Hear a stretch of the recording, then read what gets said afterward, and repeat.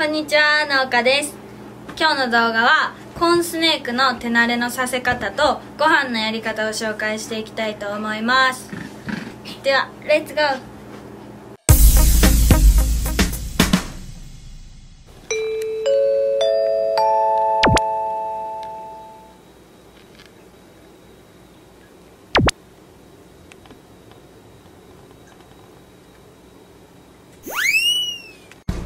ではハンドリングしていきたいと思います。まず最初に爬虫類を触る前後には爬虫類にはサルモネラ菌がついているのでしっかり手洗いをしてください。ではまず竹丸くんを出していきたいと思います。竹丸くんです。こんな感じでまずは簡単に手にのせるような感じで掴んで手にのせていきますで爬虫類は匂いにとてもすごく敏感なので強い匂いはすごいストレスになってしまうので香水とかタバコの匂いには気をつけてください。で手の感じはこうやって持つとこう爬虫類の皮膚と手がこう接触しやすくて手慣れが早い方法とされてるのでこんな感じでやるとヘビとかやったらしっかり絡んでくれたりしてこうよりいいハンドリングになると思います。であとはこの子の行き先通りに手を導いてあげる感じでハンドリングができます。動かなくなったらそのまま止まっといてもらったらいいと思います。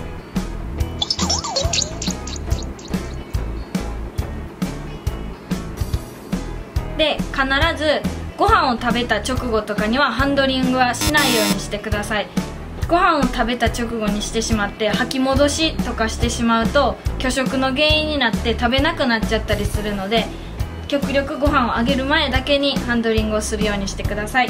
でこんな感じで毎日ちょっとずつ短時間に毎日毎日やってあげることで手慣れをして大きくなってもこう安全に触れるヘビちゃんに育ちます。竹丸くんでした。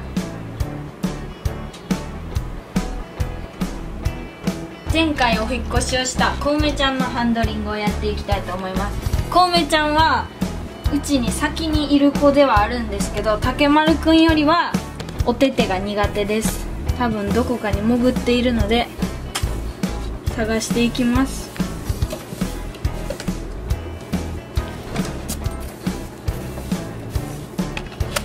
え？え？コウメは？はい今探してたらいなくてめちゃくちゃ焦って脱走したんちゃうかって思ったらこのこの前つけたまんまにしてたおしゃれな壁の後ろにいました。もうびっくりしました。また脱走したんかと思った。はいということで裏に無事いました。めちゃくちゃ焦ったんですけどいてよかったです。でこの子の方がちょっと動きが激しくてあんまり手慣れはできてないのでこんな感じで大急ぎで逃げようとします。こういう子の場合もこう力をあんまり入れずにこう進む方に動いてあげたら手慣れしていくんじゃないかなと思います。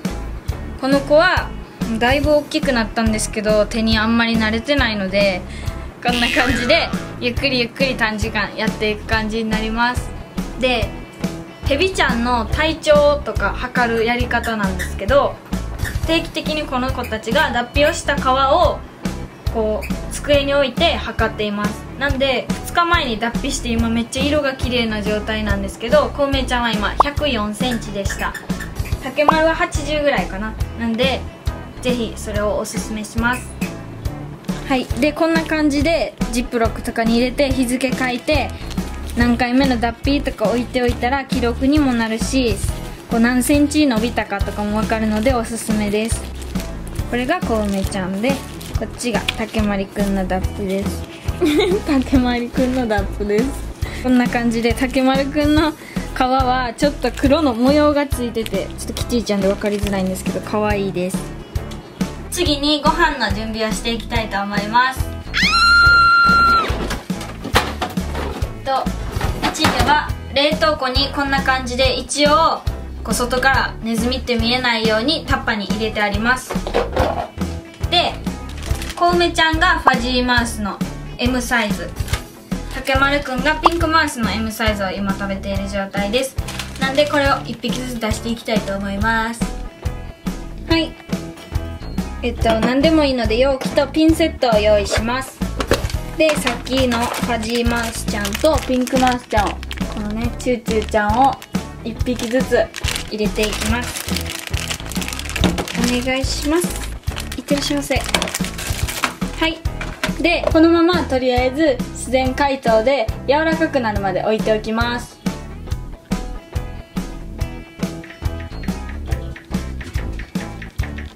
はいある程度解凍できたらお湯を入れていきます。ピンクマウスの解凍の場合はだいたい45度から60度ぐらいのお湯がいいとされてます。お湯を入れていきます。まあどんぐらいでもいいんですけど浸るぐらいに入れておいてまた少しあったかくなるまで放置します。では準備できたのでこれをご飯やっていきたいと思います。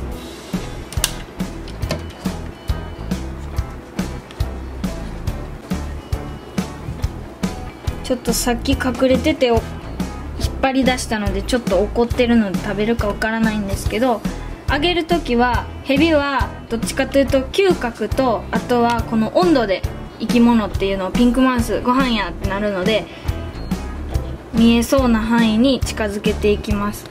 これが冷たすぎたりするとご飯って気づかなかったり手に間違えてパクってきたりするのでピンセットをうまく使って顔の近くに持っていきます。気づきました。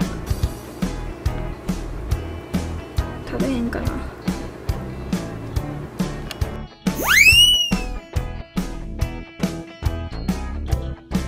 はいでは準備ができたのでご飯をあげていきたいと思います。竹丸くん。しっかり水切って。よいしょ。はいで顔の前らへんにこうやって持っていくとご飯に気づくとおってなります。であとは置くなり動物っぽいネズミっぽい動きをしてご飯やでーってやるのもいいです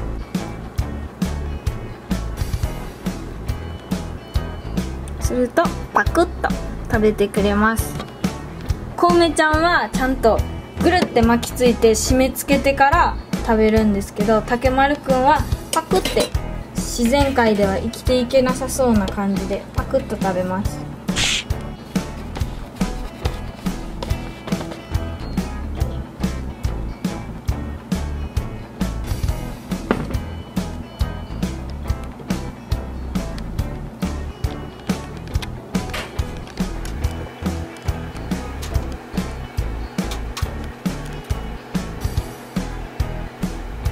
ということでコーンスネークのハンドリングとご飯のやり方の動画でした。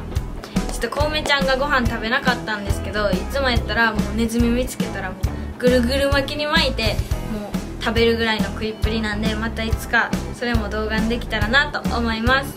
この動画が良かったなと思ったらチャンネル登録と高評価よろしくお願いします。質問やアドバイスも待ってるのでまた次回の動画も見てくれると嬉しいです。じゃあバイバイ